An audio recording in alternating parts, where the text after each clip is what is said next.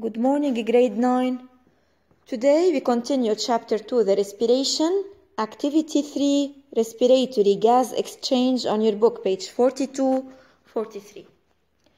Yesterday we finished activity 1 حكينا عن ال organization of respiratory system من شو بيتألف الجهاز التنفسي وقلنا انه the respiratory gas exchange take place in pulmonary alveoli باللانكس تحديدا بالبلمونري alveoli.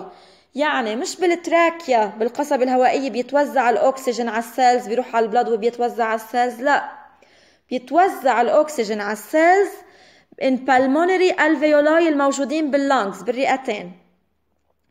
The characteristics of alveoli which favor gas exchange between alveoli وال blood هن thin wall, large surface area and wall richly vascularized فإذا هود ال characteristics لل alveoli اللي بيسهلوا إنه يصيروا ال gas exchange بين ال blood وبين ال alveoli. هن thin wall, large surface area and wall richly vascularized. هون بده يروح الأكسجين من ال alveoli على ال blood وال carbon dioxide بعكسه بده يجي من ال blood يفوت على الألفيولاي ليظهر برات جسمنا. Observe document A on your book. نطلع بالدوكيمنت A.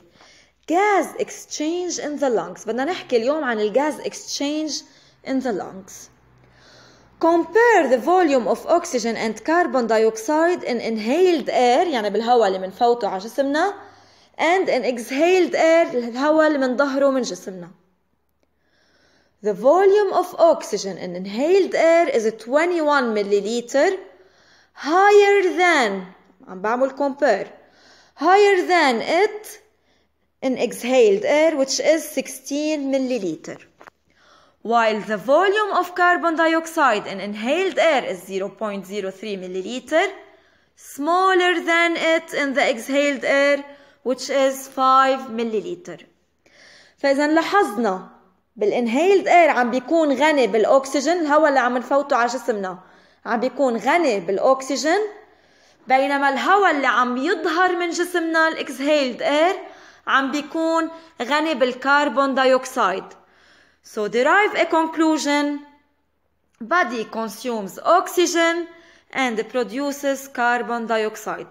معناته الجسم بحاجة بياخد الأكسجين هو بحاجة إنه ياخد أكسجين وبالمقابل عم ياخد الأكسجين عم بيطلع carbon dioxide عم بكب ال carbon dioxide بنفس ال document compare the volume of oxygen and carbon dioxide in the blood entering the lungs and in the blood leaving the lungs. بدنا نعمل هلأ compare للاكسجين وال carbon dioxide بال blood اللي عم بيفوت على ال lungs يعني عم بيروح على ال pulmonary alveoli يعني عم نظهره من جسمنا. اللي عم بيظهر من جسمنا اللي عم بيفوت على ال lungs هو اللي عم يظهر من الخلايا ال cells عم بكبوه بال blood وال blood عم بيرجعوه عم بيظهروه على ال pulmonary alveoli وبال blood leaving the lungs اللي عم يظهر من ال lungs يعني عم بيفوت على جسمنا يعني عم يظهر من الالفيولاي يروح على البلد ليفوت على السيلز So the volume of oxygen in the blood entering the lungs is 15 milliliter, smaller than it in the blood leaving the lungs, which is 20 milliliter. The volume of carbon dioxide in the blood entering the lungs is 50, 53 milliliter, higher than it in the blood leaving the lungs, which is 49 milliliter. فإذا عم نلاحظ انه بالدم اللي عم بيظهر على اللانجز عم بيفوت على اللانجز entering the lungs يعني عم يظهر من جسمنا عم بيكون غني بال carbon dioxide بينما ال blood leaving the lungs يعني اللي عم بيفوت على جسمنا عم يظهر من ال lungs على ال blood ليفوت على جسمنا عم بيكون غني بالأكسجين. So in lungs blood is enriched in oxygen لأنه الأكسجين عم بيفوت من ال alveoli على ال blood فحيصير ال blood غني بالأكسجين. And impoverished in carbon dioxide وفقير بال carbon dioxide لأنه ال carbon dioxide عم يظهر من ال blood يروح على ال alveoli ليتظهروا برات جسمنا. So in lungs blood is enriched in oxygen and impoverished in carbon dioxide.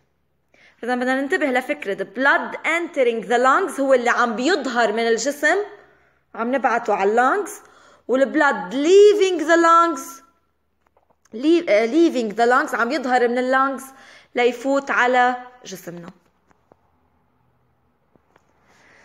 gas exchange كيف بتصير ال respiratory gas exchange كيف الغاز بينتقلوا بجسمنا gas exchange is accomplished by a phenomenon اللي هو اسمه diffusion فإذا gas exchange بيصيروا عبر ال diffusion شو يعني diffusion diffusion is the movement of gas from a medium of high pressure or high concentration to another medium of low pressure or low concentration in this gas يعني diffusion بده ينتقل الغاز من مكان اللي بتكون فيه نسبته أو البريشر له عالية لمكان تاني بتكون نسبته واطية. يعني بده ينتقل من مكان أعلى نسبته فيها عالية للمكان اللي نسبته فيها واطية.